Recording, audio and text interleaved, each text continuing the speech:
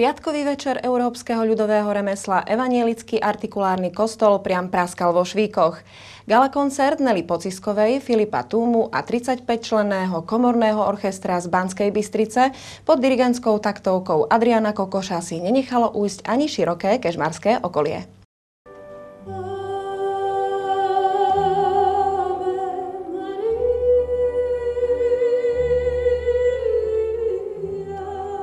Skladby ako Ave Maria, Aleluja, Besame Mucho a mnohé ďalšie odzneli počas gala koncertu Nelly Pociskovej a Filipa Túmu, ktorí do dreveného artikulárneho kostola v Kežmarku pritiahli viac ako tisícku divákov. Atmosféra bola neopakovateľná.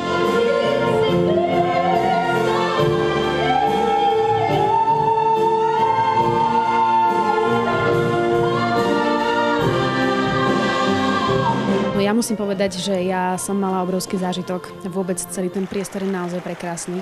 A ja som sa veľmi tešila, pretože uh, ja už uh, pre mňa bolo toto celé spojenie um, jeden krásny koncert od začiatku až do konca tým, že spievam tuto s človekom, ktorý mi je veľmi blízke, ktorého veľmi ľúbim. A s tým, že spievam s orchestrom, čo je pre mňa úžasný zážitok, pretože ja to tak často nezažívam, tak a, a ešte k tomu s takým orchestrom pod vedením Adriana Kokoša je naozaj um, veľký zážitok. Ten kostol máte nádherný a má atmosféru, len ja by som povedal, že kostol má atmosféru a nemal takú atmosféru bez ľudí. Ale tú atmosféru urobili tí úžasní ľudia. Neviem, či to boli turisti, alebo myslím, že to bolo veľa aj kežmarčanov.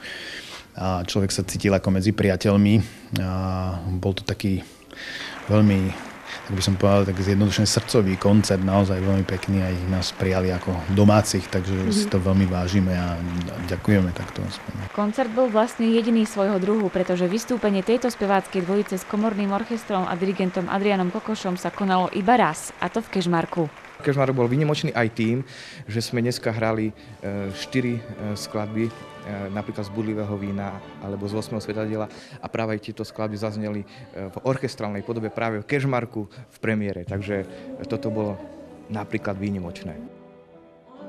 Ja som v tomto orchestri ako host, čiže vybral som si tento orchester, lebo je skvelý, sami ste to mohli vidieť a počuť. Takže to je príležitostná akcia, my sme mali včera skúšku, čiže deň pred koncertom bola skúška v Pánskej Bystrici. Eh, aj eh, s Filipom a s Nelou sme naskúšali tento program a videli ste výsledok a počuli.